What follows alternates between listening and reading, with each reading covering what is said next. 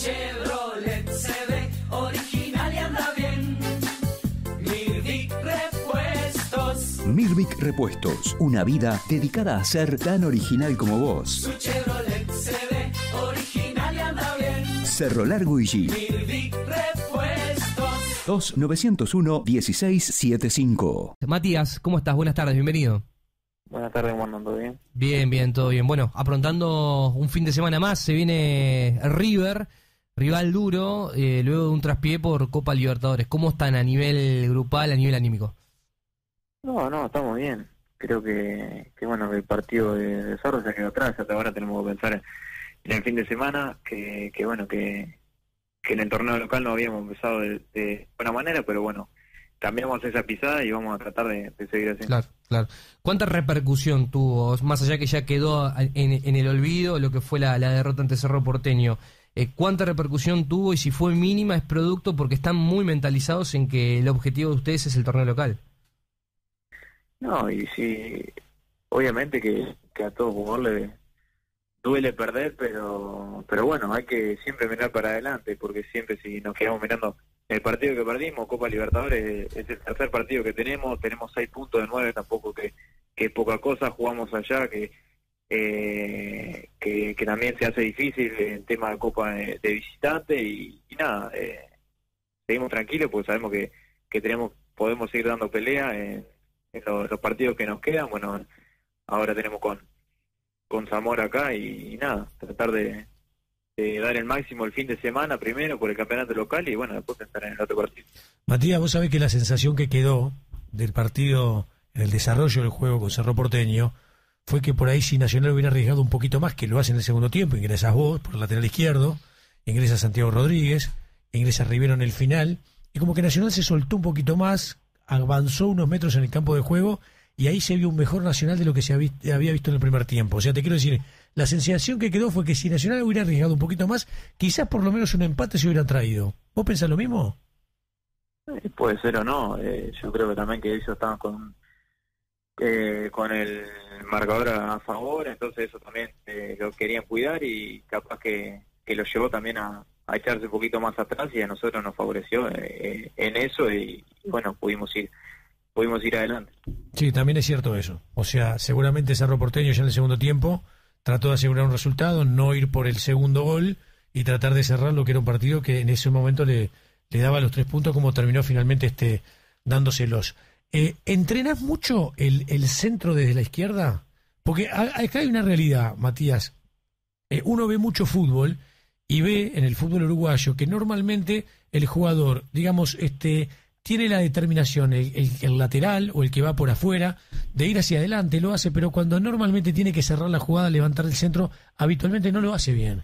Y yo creo que es una fortaleza que vos tenés, vos lo haces muy bien. Hoy lo charlábamos hace un ratito antes de hablar contigo al aire, con nuestros compañeros, que quizás sea de los mejores que levanta centros hoy en el fútbol uruguayo. Lo entrenás, lo entrenás siempre, es una cosa habitual, está dentro de un régimen general de entrenamiento. Contanos un poco.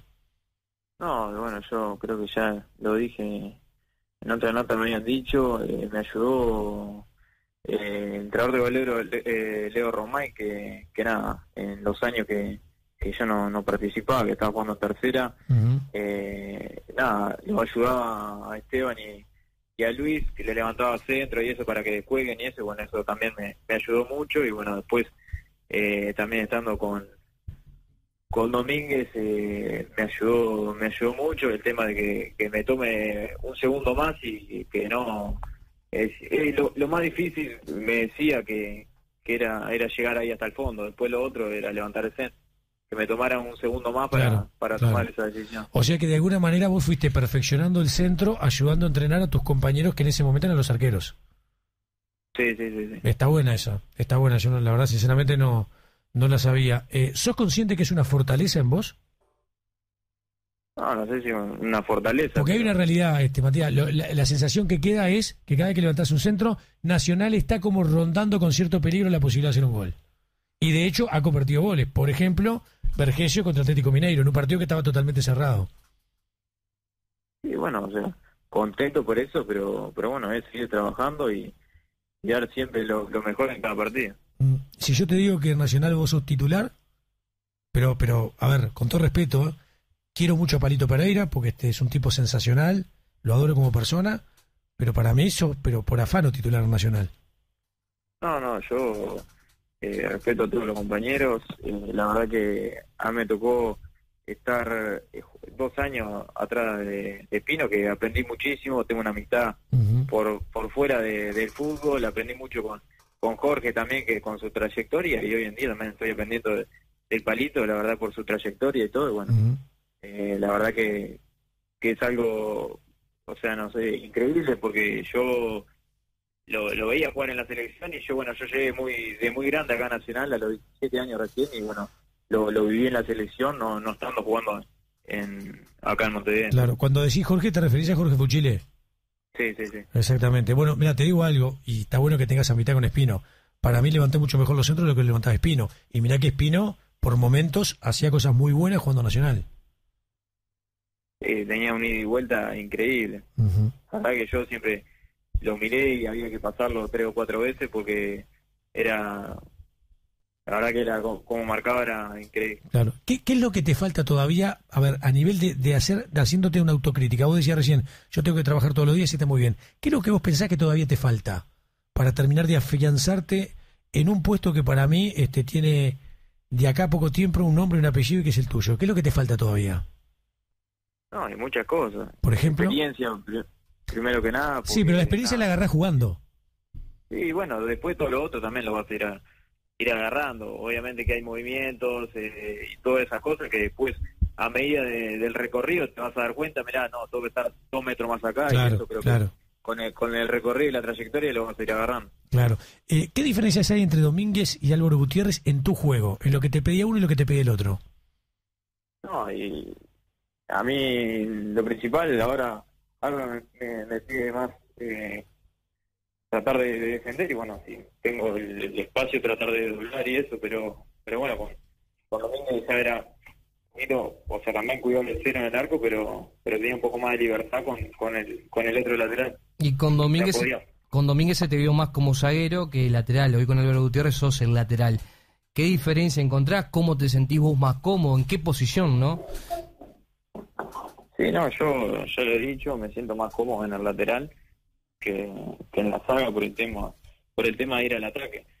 Eh, pero después no tengo problema en jugar en ninguna de las dos posiciones. ¿Qué, te ha parecido el- lo que ha hecho River hasta ahora? Un equipo que lo enfrentan ahora el próximo sábado, que ha dejado a Santos de Brasil este fuera de lo que es la Sudamericana, de los equipos, por lo menos el nombre más encumbrado del fútbol brasileño, pero que como contrapartida está pasando algo este parecido a Liverpool en el ámbito local, tiene como una especie de, de electrocardiograma, por momentos picos altos, por momentos picos bajos, gana y pierde, y está como en un momento bastante irregular el equipo de Giordano. Bueno, sí, pero siempre está, está ahí peleando, tiene jugadores interesantes y bueno, vamos a tratar de, de ahora analizarlo en estos días que quedan para, para tratar de, de llevarlo a nuestros puntos nosotros. ¿Vuelve al entrenamiento cuando? ¿Mañana? Mañana, mañana. ¿En hora de la mañana? Sí, con concentración. Con concentración ya pensando en el partido. Está muy bien, está muy bien. Viña, te agradecemos mucho este rato, queríamos charlar contigo. Este, está bien que vos no lo digas porque es lo que corresponde, pero para los que sabemos un poquito de esto, la sensación que queda y prácticamente generalizada es que terminás afianzándote definitivamente en el, en el puesto de lateral por la izquierda en Nacional. Veremos si hay en este tema de prioridades o no, si hay después algún tipo de este, modificación tomando en cuenta que Nacional, al igual que Peñarol, empieza con una seguidilla de partidos de, torneo local y torneo internacional en cuanto a la conformación de la oncena titular. Gracias por estar, abrazo grande. Bueno, muchas gracias a ustedes.